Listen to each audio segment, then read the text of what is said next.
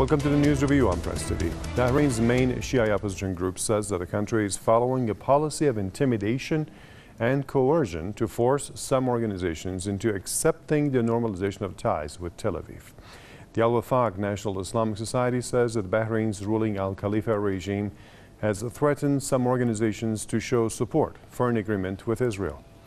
A group of institutions has expressed dissatisfaction with what they refer to as blackmailing and coercive measures. Al Wafaq says that the Bahraini government has prohibited any popular or civil movements against the Israeli issue. Now, those comments came after the U.S. president announced that Manama and Tel Aviv would normalize relations roughly a month after a similar rapprochement between the United Arab Emirates and the Tel Aviv regime.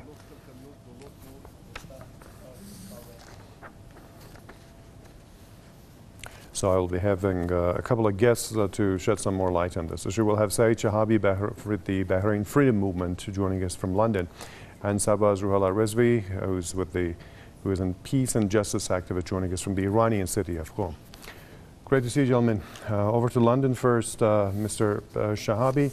This uh, is what the Manama regime has done, normalizing ties with Israel and uh, you have you've been aware of the uh, reaction by Iran and also the Muslim community, and also even the people inside Bahrain. And now, what we are seeing is uh, that Al Wafaq and other opposition groups are being threatened, and they are not allowed to do or say anything against this normalization.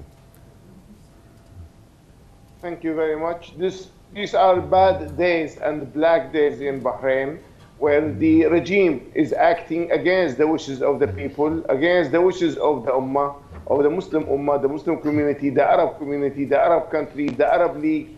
Mm, so uh, by establishing links, resuming uh, diplomatic relations with an occupier is simply a crime as viewed by the people. This is why we have always opposed the, the occupation of Palestine. We have always sided by our Palestinian brothers. We have always opposed any aggression, whether the, the aggression was by Saddam Hussein on Iran or by Saddam Hussein on Kuwait or by the occupation of Palestine or, for that matter, the occupation of Bahrain by this ruling family. So we are against all form of opposition, uh, opposi uh, occupation, uh, and we have uh, expressed our views. Our people have been in the streets over the past few days, the, uh, braving the uh, anger of the regime, which is now supported by Mossad. Uh, and we must not uh, forget that the Mossad chief was in Bahrain a few days ago to uh, lay down the details of the agreement with the Khalifa dictatorship. So we as Bahrainis have opposed this. We will continue to oppose it. Our people will always be part of the Arab and Muslim uh, community and they will always side with the uh, with the aggrieved, with the oppressed. And in this case, it is the Palestinians and the Arab and Muslim nations as a whole who are being targeted by the counter-revolution forces led by the Saudis, Emiratis, Khalifis, uh, Israelis, and of course Americans. Now let me turn to uh, Mr. Rezvi. Uh, some of our analysts who I've been talking to, they believe that uh, by what Bahrain has done, it may actually pave the way for the presence of uh, the Tel Aviv regime and its forces, you know, in the Persian Gulf region, and it could uh, stir the situation. But they also argue that this could also harm Bahrain's own security. Let's have your comment. Yeah, indeed. First of all, first of all, my peace and salam uh, to Mr. Sharabi. They have been together in different events let me, uh, you know, recall um, a memory. It was 2010, a few months before the start of the Bahraini revolution, when I had a chance of being in Gaza with a group of peace activists. We went to Gaza with the first Asian caravan to break the siege of Gaza.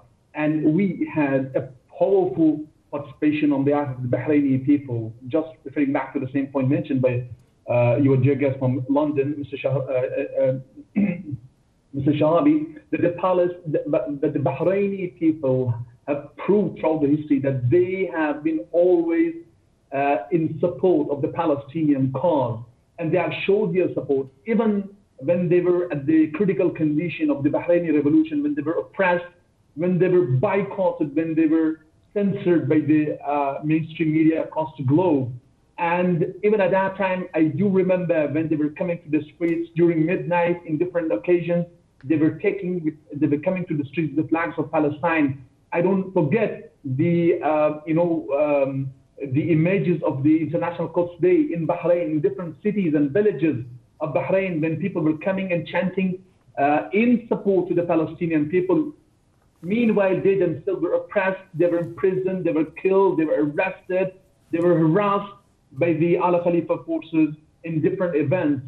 And uh, still, I believe that the sentiments of the Bahraini people, be them Sunnis, be them Shias, it doesn't make any difference.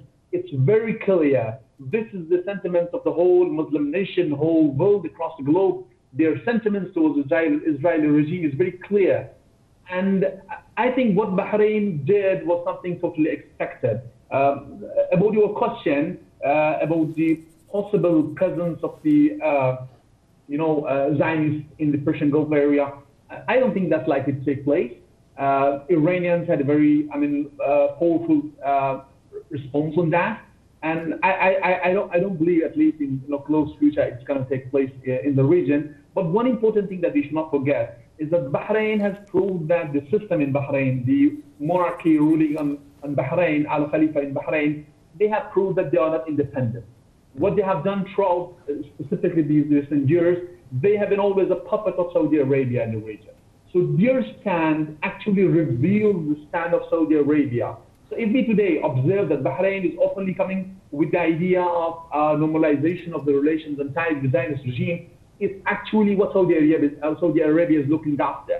Uh, but because of different circumstances, they may not want to come forward, come forth uh, to the table, and they want to be the first pioneers of this field.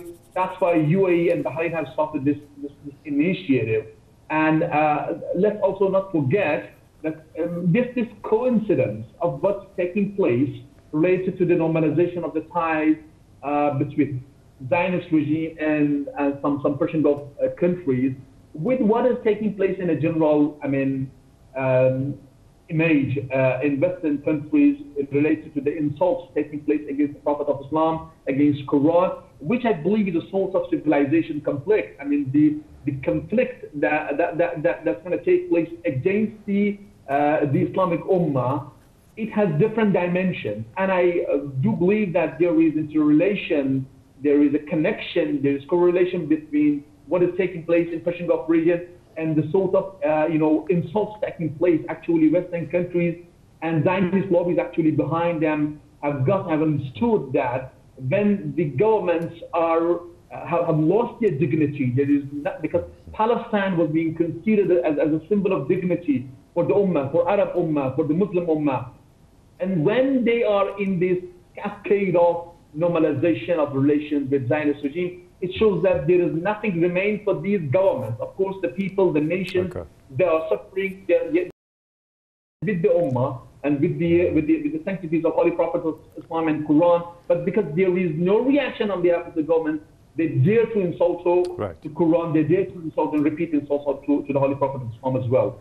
Okay, I appreciate your comments, uh, Saeed Shahabi uh, with the Bahrain Freedom Movement joined us from London, and also we had Sarbaz Roohulla Rezvi, peace and justice activist who joined us from the Iranian city of Qom with our comments on the issue. And thank you for watching this news review.